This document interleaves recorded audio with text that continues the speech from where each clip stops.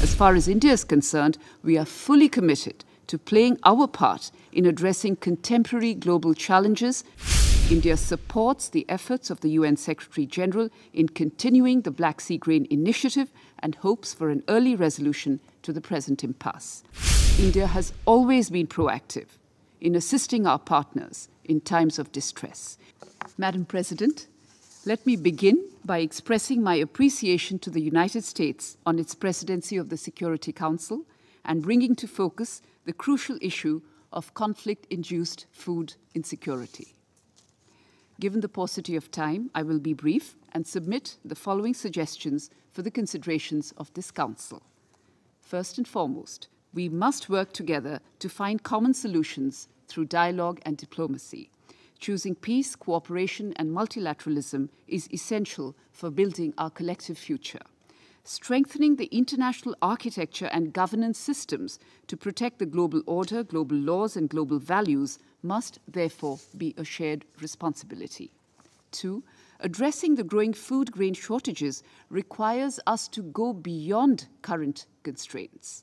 As far as India is concerned, we are fully committed to playing our part in addressing contemporary global challenges as reflected in our membership of the Champions Group of the Global Crisis Response Group.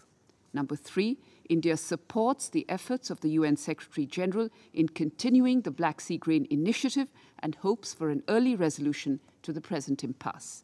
Recent developments in this matter have not helped in securing the larger cause of peace and stability.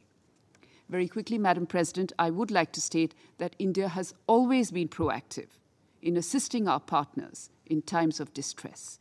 Even in the middle of the COVID 19 pandemic, India provided food aid in the form of thousands of metric tons of wheat, rice, pulses, and lentils to several countries, including in our neighborhood and Africa, to strengthen food security.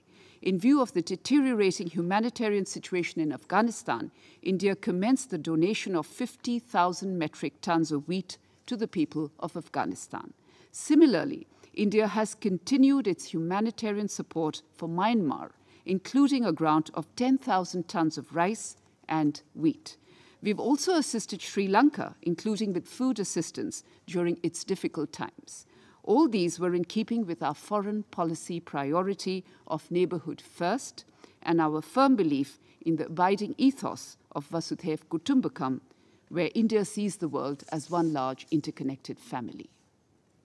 Leveraging our presidency of the G20, Madam President, India has advocated for greater efforts to accelerate the achievement of the SDGs, including SDG 2, calling for zero hunger the Indian presidency is committed, in our Prime Minister's words, and I shall quote him, to depoliticizing the global supply of food, fertilizers, and medical products so that geopolitical tensions do not lead to humanitarian crises. Unquote. Thank you.